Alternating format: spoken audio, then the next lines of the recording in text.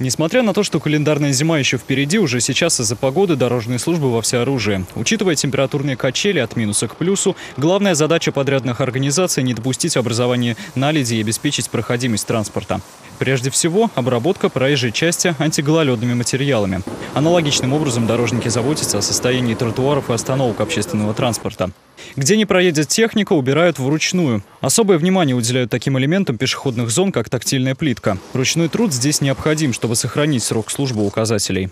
В основном пешеходные переходы и посадочные площадки. Лестницы. Если где есть в районах лестницы, вот как у нас на Пензенской лестнице, Мосты мы обслуживаем, путепровод, Аврора, мост Южный, там тоже лестницы есть. Мы тоже в первую очередь их надо очищать, чтобы люди у нас, ну, скользко, чтобы не было. За качеством уборки улиц на протяжении всего сезона будут следить ежедневно. Специалисты профильного департамента совместно с представителями подрядных организаций организуют выезды по городу, во время которых фиксируют состояние каждого элемента улично-дорожной сети. Если на них присутствуют э, недочеты в виде валика снега, в виде наледи, то как бы выписывается предписание со сроком устранения 1-2 дня.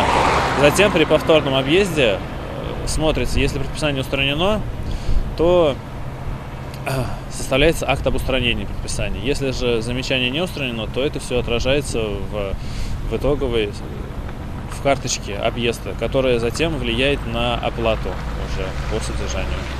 Кроме того, с переходом на зимний режим работы дорожники установили ящики с песком на спусках и подъемах дорог. Он поможет, если у водителей возникнут трудности при движении. Они могут выйти, обработать участок и беспрепятственно тронуться и проехать дальше.